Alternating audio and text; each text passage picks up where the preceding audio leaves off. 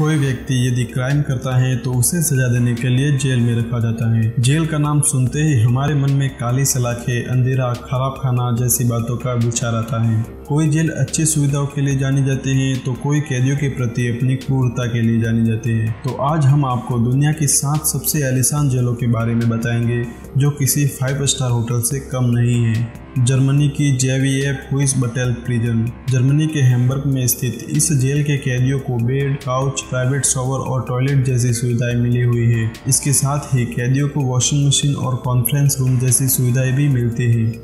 Switzerland की chap डॉलन prison. Switzerland की यह जेल पहले कैदियों की भारी संख्या के लिए बहुत बदनाम थी। आज के समय में इस जेल में कैदियों के कमरे किसी अच्छे हॉस्टल से कम नहीं हैं। इस जेल में कैदियों को लग्जरियस सुविधाएँ मिलती हैं।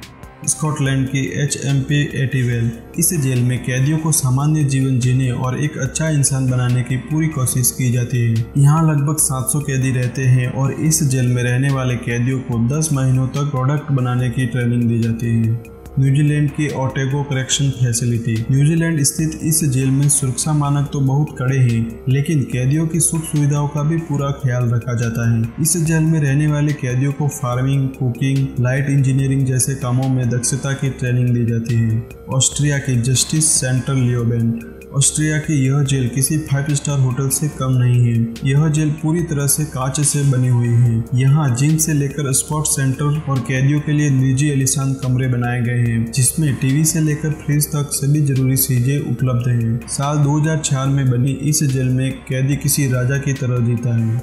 नॉर्वे की बेस्टॉय जेल नॉर्वे के बेस्टॉय द्वीप पर स्थित इस जेल में करीब 100 कैदी ही रहते हैं। इस जेल में रहने वाले कैदियों को horse riding, fishing, tennis sunbathing prison complex जैसी सुविधाएँ मिलती है। इतना ही नहीं, कैदियों को खेती करने के लिए फॉर्म और रहने के लिए कॉटेज जैसी सुविधाएँ दी जाती है। इस जेल में रहने वाले कैदी ये बात भूल जाते हैं कि वो एक जेल में है। स्पेन की आर्नजुएर जेल स्पेन की आर्नजुएर जेल अपने आप में अनोखी जेल है, क्योंकि यहाँ कैदियों को अपने परिवार के साथ रहने की छूट है। जेलों के अंदर छोटे बच्चों के लिए दीवारों पर कार्टून बनाए गए हैं। साथ ही, उनके लिए यहाँ स्कूल और प्लेग्राउंड की व्यवस्था भी है। दरअसल इसके पीछे वजह यह है कि बच्चे अपने माता पिता के साथ रह सके और माता पिता भी उन्हें संभालना सीख सके।